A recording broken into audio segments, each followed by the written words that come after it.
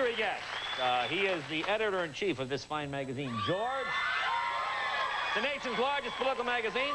Uh, he and the editors of George have a new book out, uh, just came out today, The Book of Political Lists. Very funny, very interesting. Please welcome John F. Kennedy, Jr.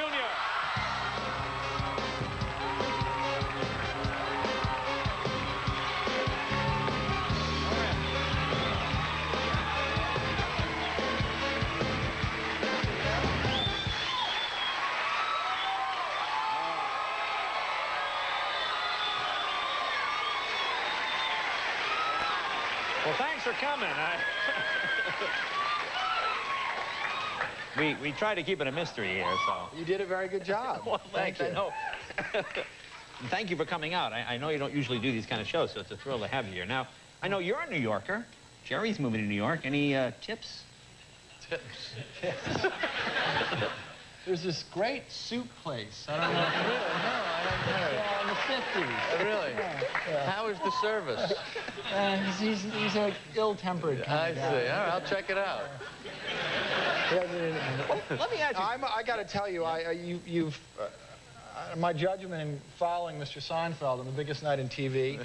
Uh, they always tell you in politics you got to watch who you follow. So I don't know what I was thinking, but it's a great honor to be here. Well, it's an honor on to have you this here. night. Yeah. Let me, now, you were, weren't you on, no, you weren't on Seinfeld, but you were portrayed, right? My elbow, I think it was. yeah, did? Yeah, we had. The, the, you were in the famous contest episode. Yeah, well, that's You right. slept with the very. I did.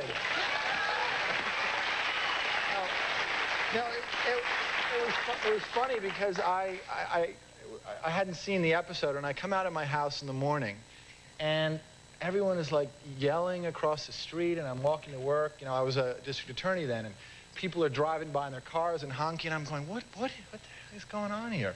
So I walk in, and you know, every, as people start to say, "Oh, you know, I saw you last night. Were you on Seinfeld? Were you on Seinfeld?" I said, "No, no. What, what is everyone talking about?" So they explained it, and then I, I had a trial, and I walk, I walk into the court, and the defendant is sitting there over there, and he goes, "You were on Seinfeld." and, I was like, "No, no, I wasn't on Seinfeld." And he, he leans over to his lawyer, and he goes, "Guy's an actor too. No wonder he failed the bar exam."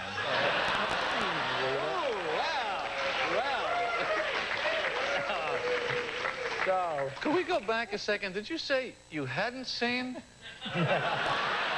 It was the only one. It was the only one. but I got a tape, actually. The Okay. office was very kind to send it on. Now, you've been uh, obviously around politics your whole life. Do you think you will ever run? Would you ever run? Is that something? People always... Well, you know, other than people asking me, were you on Jerry Seinfeld show? That is the second most frequently asked question. Um, I, you know, I, I'm being an editor of a political magazine. You're you're you're able to be uh, in politics without really being in politics. Right, You know, right. so it's like like being the vice president, I guess. for- Yeah. yeah, oh, yeah. same. Um, but it's. Uh, Is it...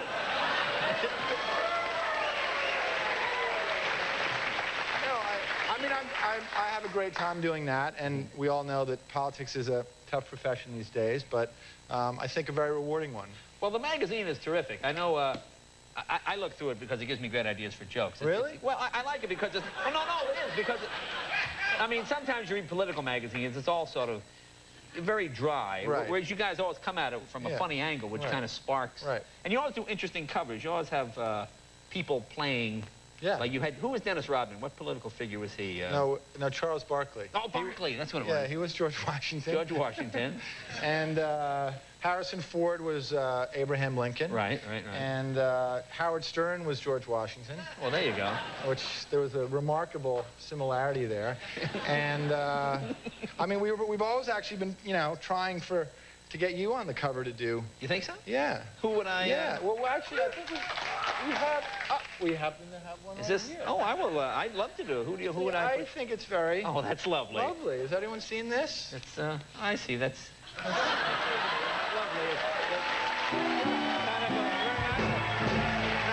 And I'm a handsome woman, very busty, apparently. I'm a, Very a very busty woman. Well, now we're busting people for pictures. Let me ask you something, because I know in your life, I always see you, you always seem very dignified and avoid this and avoid that.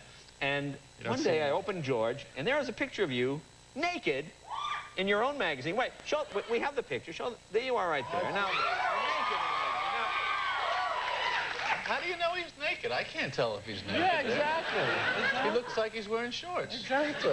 And running and running shoes. No, no, the He man. could have a very small tuxedo on. All right. Now, You might not be wearing pants. under there. Exactly. No one knows that. now, were you naked in the photo? Uh, I wasn't actually. I was. Oh. I had. I was wearing pants and and, and shoes. you would have perhaps had Newt Gingrich uh, nude from the shoulders down. I don't think anybody wants You to see think that. so? No, it wasn't. It was. You know, everyone always says that no one reads editors' letters, um, and they read that one. So, what are you gonna say? it, it worked for the time being, but. Now, what is the Monica Lewinsky poem that is in here? Explain this. Oh. Oh.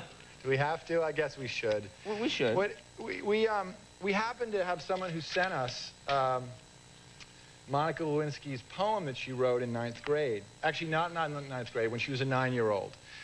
And I, I know I'm going to rot in hell eternally for this, but, but I, can I maybe just give Read it a the- sample? Yeah, give a sample. Okay. Um, it was written, uh, the, the poem is a poignant rumination on how, quote, I can be a delicious lunch, dinner, or breakfast, if you're weird. She goes on to describe herself, quote, as a round and flat piece of dough with lots of topping. I am a mouth's best friend. I make you say, yum, yum. It's amazing how kids know at a young age what they're going to do with their life. So- well, this here is the. Uh, now, this was fascinating because this is a You like great s- sort of reference book. Uh, you know, Yeah. just looking up odd things. It's, it's a book of celebrity lists. What is your?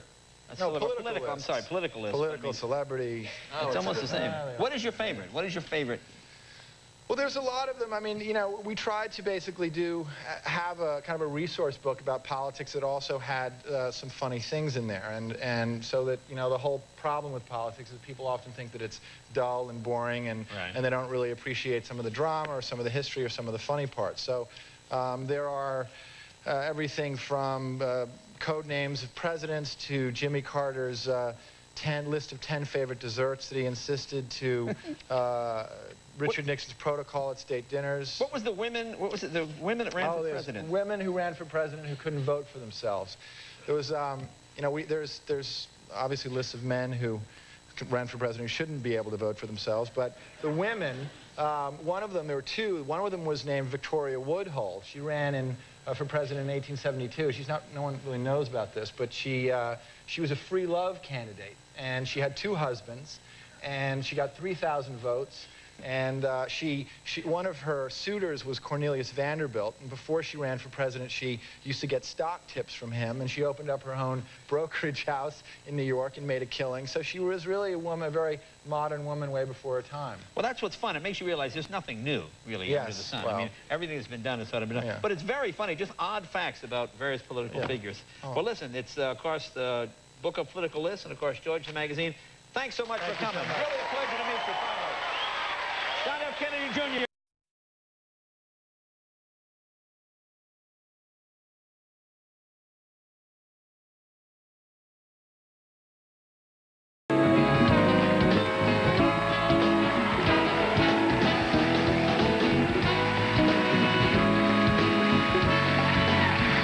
I want to talk to you for a minute, but before I do, I want to thank our guest, Darrell Hammond. Thank you very much, Sunday Night Live. Thank you, very funny man.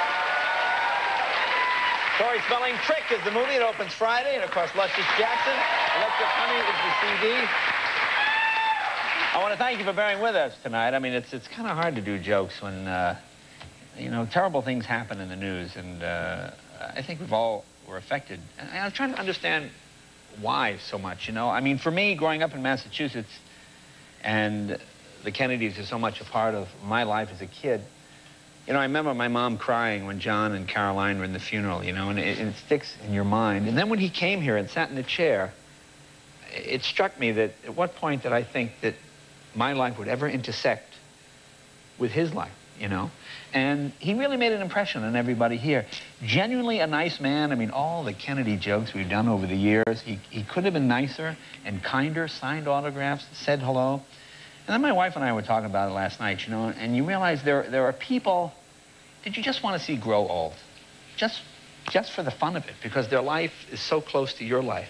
You know, people like him and, and Princess Di, and you realize these people never really did any bad. Whenever you saw them, you smiled and you felt happy for them, and you wanted them to have a good life, you know. And for those of you who think somebody has something more than you, you go, oh boy, and then something tragic like this happens. So uh, thanks for making the job easier tonight. I, it, it, like I said, doing the monologue, I said, how do you go out and do a monologue? But that's the job we have to do here and try and be silly and try and maybe cheer people up. But please don't think it's, it's not on our minds because if it's on your minds, it's on our minds too. So I just want to say, uh, you know, say a prayer and God bless him. And he was a very, very nice man.